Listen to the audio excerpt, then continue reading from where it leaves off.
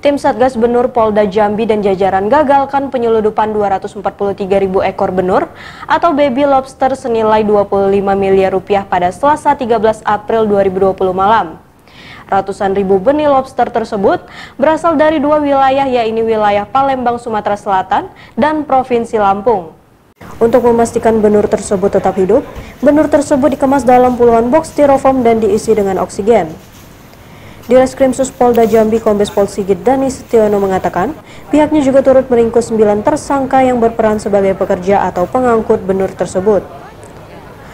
Puluhan box styrofoam berisikan dua jenis benih lobster, yaitu jenis pasir dan jenis mutiara tersebut diamankan di dua tempat kejadian perkara yang berada di kota Jambi.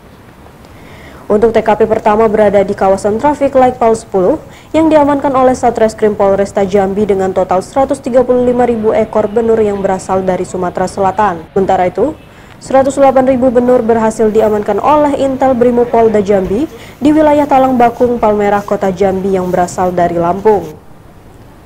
Benur tersebut dibawa menggunakan dua unit mobil J pickup dan tertutup rapi menggunakan terpal.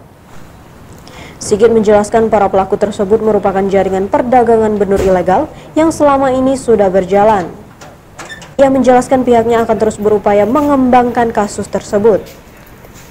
Ratusan ribu benur yang mencapai 25 miliar rupiah tersebut rencananya akan dikirim ke luar negeri dengan tujuan akhir Singapura dan Vietnam. Demikian berita hari ini, sampai jumpa lagi di berita aktual selanjutnya. Salam Tribun.